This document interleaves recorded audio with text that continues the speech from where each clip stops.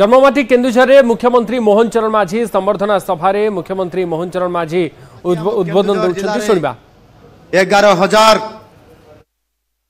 একশহ তিন কোটি সতস্তরি লক্ষ টঙ্কা গচ্ছিত হয়েকি এ পর্যন্ত রাজস্ব সংগ্রহ হয়েছি গত মার্চ মাস একত্রিশ মসিয়া সুদ্ধা যা মো পাখে রিপোর্ট অছি ইয়ে ছুটিয়া কথা নুহ সারা ভারত বর্ষের কেন্দুঝর জেলা নম্বর ওয়ান ଆମେ ଅଧିକ ଅର୍ଥ ଆଜି ଆମ ରାଜସ୍ୱ ପାଇଛୁ ଆମ ଜିଲ୍ଲାର ବିକାଶ କରିବା ପାଇଁ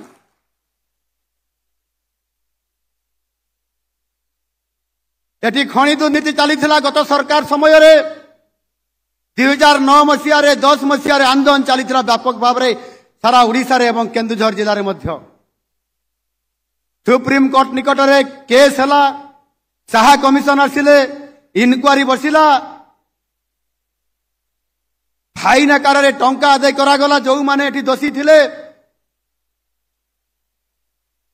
ପାଖାପାଖି କୋଡ଼ିଏ ହଜାର କୋଟି ଟଙ୍କାର ଫାଇନ କରାଗଲା ଏବଂ ସେ ଟଙ୍କା ଆଦାୟ ହେଲା ଆଉ ଆଦାୟ ହେଲା ଫଳରେ ଯୋଉ କୋଡ଼ିଏ ହଜାର କୋଟି ଟଙ୍କା ଆଦାୟ ହେଇଥିଲା ଆଠଟି ଜିଲ୍ଲା ମଧ୍ୟରୁ କେନ୍ଦୁଝର ଜିଲ୍ଲାର ସବୁଠାରୁ ଅଧିକ ଟଙ୍କା ଆଦାୟ ହେଇଥିଲା ସେଥିରେ ବାର ହଜାର କୋଟିରୁ ଅଧିକ ଏକଥା ଆପଣମାନେ ଜାଣିଛନ୍ତି। କାମ୍ପା ଫଣ୍ଡରେ ଆମକୁ ଏପର୍ଯ୍ୟନ୍ତ ମିଳିଲାଣି ତିନି ଚାରି ହଜାର କୋଟିରୁ ଅଧିକ।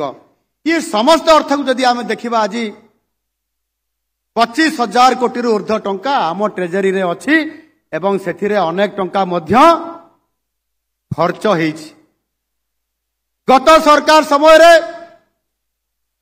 जेहेतु डीएमएफ अंबासी कांपा फंड और फंड जो गुड़िक राज्य सरकार बजेट बाहर जो गुड़िक केन्द्र सरकार बजेट बाहर ए टा गुड़िक कारण गत सरकार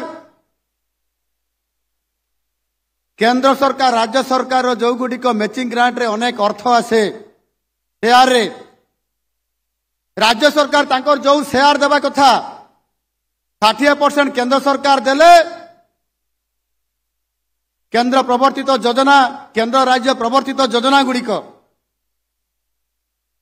କେନ୍ଦ୍ର ସରକାର ଷାଠିଏ ପରସେଣ୍ଟ ଦେଲେ ରାଜ୍ୟ ସରକାର ଚାଳିଶ ପରସେଣ୍ଟ ଦିଅନ୍ତି ଏ କଥା ଆମେ ଅନେକ ଲୋକ ଜାଣିଛନ୍ତି କିନ୍ତୁ ରାଜ୍ୟ ସରକାର ଚଞ୍ଚକତା କରିକି ରାଜ୍ୟ ସରକାରଙ୍କ ଚାଳିଶ ପରସେଣ୍ଟ ଅର୍ଥକୁ ଦିଅନ୍ତି ନାହିଁ ସେ ଚାଳିଶ ପରସେଣ୍ଟ ଅର୍ଥ କୋଉଠୁ ଭରଣୀ କରନ୍ତି? ଡିଏମ୍ଏଫ୍ ରୁ ଭରଣୀ କରନ୍ତି। ଅମ୍ବାରସିରୁ ଭରଣୀ କରନ୍ତି। ଏବଂ ବଜେଟରୁ ପ୍ରତିବର୍ଷ ଦୁଇ ହଜାର କୋଟି ଟଙ୍କା ପାଖାପାଖି କେନ୍ଦୁଝରରୁ କାଟି ଦିଅନ୍ତି। ଇଏ ରାଜ୍ୟ ସରକାରର ପ୍ରକୃତ କଥା ଆପଣମାନେ ଜାଣିବାର ଆବଶ୍ୟକତା ଅଛି।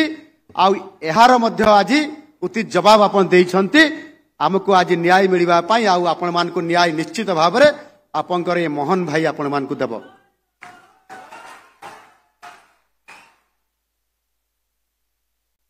କେନ୍ଦୁଝରକୁ ଲୋଟ କରାହଉଥିଲା ଲୁଟ କରାହଉଥିଲା କି ନାଇଁ ଭାଇମାନେ କିଏ ଲୁଟ କରୁଥିଲା ଏ କେନ୍ଦୁଝରରୁ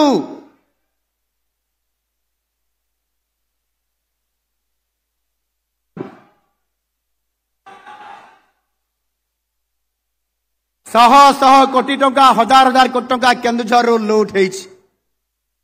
ଏ କେନ୍ଦୁଝରର ଖଣିରୁ ଟଙ୍କା ଲୁଟ ହେବାରେ ରାଜ୍ୟ ସରକାର ସେତେବେଳେ ସମ୍ପୃକ୍ତ ଥିଲେ ଏବଂ ଏଠି ପ୍ରଶାସନ ମଧ୍ୟ ସମ୍ପୃକ୍ତ ଥିଲା।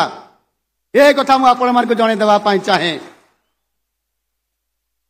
ଆପଣମାନେ ଯେତେବେଳେ ବିଧାନସଭାକୁ ମତେ ପଠେଇଲେ ତୃତୀୟ ଥର ପାଇଁ ଦୁଇ ହଜାର ଉଣେଇଶ ମସିହାରେ ବିଧାନସଭାରେ ଲଢେଇ ହେଲା କେନ୍ଦୁଝର ଜିଲ୍ଲାର ହକ୍ ପାଇଁ। ଆଜି ମଧ୍ୟ ଓଡ଼ିଶାରେ ଓଡ଼ିଆକୁ ନେଇକରି ଆଜି ଅସ୍ମିତାର କଥା ଆଜି ଉଠିଛି। ଆଜି ଓଡ଼ିଆ ସଙ୍କଟରେ ଅଛି ଆଜି ଓଡ଼ିଆର ଅସ୍ମିତା ଆଜି ସଙ୍କଟରେ ଅଛି। ଏ କଥା ସତ କି ନେ ଭାଇମାନେ? ଠିକ ସେଇଭଳି ଭାବରେ ମଧ୍ୟ ଆଜି ମଧ୍ୟ ଆମ କେନ୍ଦୁଝରର ଅସ୍ମିତା ମଧ୍ୟ ସଙ୍କଟରେ ଅଛି ଆଜି ଏଠି କିଛି ଅଣ ଓଡ଼ିଆ ଲୋକ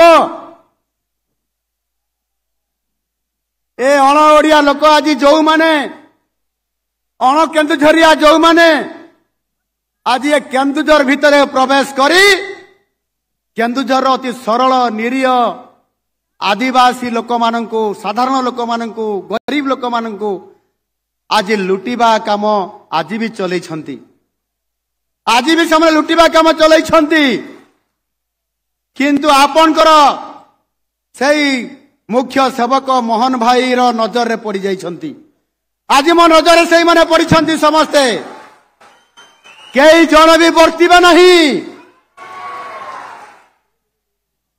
ସେମାନଙ୍କୁ ଏ କେନ୍ଦୁଝରର ଜେଲ ଠାରୁ ଆରମ୍ଭ କରି ଝାରପଡା ଜେଲ ପର୍ଯ୍ୟନ୍ତ ସେ ଜେଲକୁ ସଜେଇ ଦିଆଯାଇଛି। ଆଗାମୀ ଦିନରେ ସେମାନେ ଜେଲ ଯିବା ପାଇଁ ପ୍ରସ୍ତୁତ ହୁଅନ୍ତୁ। ସେମାନେ ଜେଲ ଯିବେ। ମୋହନ ମାଝି କାହାକୁ ଛାଡ଼ିବ ନାହିଁ।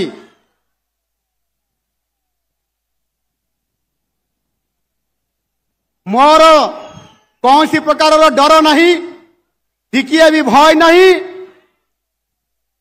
ଏଠି ମୋତେ କହୁଥିଲେ ମୋର ପୂର୍ବତନ ବକ୍ତା ଜିଲ୍ଲା ସଭାପତି ସବୁଜ ମୟ ମଧ୍ୟ କଥା ରଖୁଥିଲେ।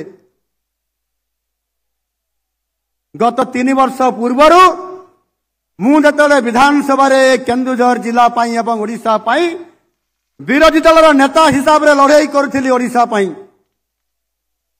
ସରକାରକୁ କାଠଗଡ଼ାରେ ଛିଡ଼ା କରାଇ ଦେଇଥିଲା ମୋ ଏ ମୋହନ ମାଝୀ ଆପଣଙ୍କର ଏ ମୋହନ ଭାଇ। ସରକାର ଡରୁଥିଲେ ମୋହନ ଭାଇଙ୍କୁ ଆଉ କାହାକୁ ଡରୁ ନଥିଲେ। ପ୍ରତ୍ୟେକ ସମୟରେ ଯେତେବେଳେ ମୁଁ ଶାଣିତ ସ୍ୱରରେ ଆକ୍ରମଣ କରୁଥିଲି ବିଧାନସଭା ଭିତରେ ଯୋଉମାନେ କହୁଥିଲେ ମୁଖ୍ୟମନ୍ତ୍ରୀଙ୍କର କ୍ରୀତଦାସ ମୁଖ୍ୟମନ୍ତ୍ରୀଙ୍କର ଚାକର ମୁଖ୍ୟମନ୍ତ୍ରୀଙ୍କର ଦ୍ୱାରପାଳ ହିସାବରେ ଯୋଉମାନେ କାମ କରୁଥିଲେ ସେମାନେ ମୋ ପାଦ ଧରୁଥିଲେ। ମତେ ଆପଣ ଦେଖୁଥିଲେ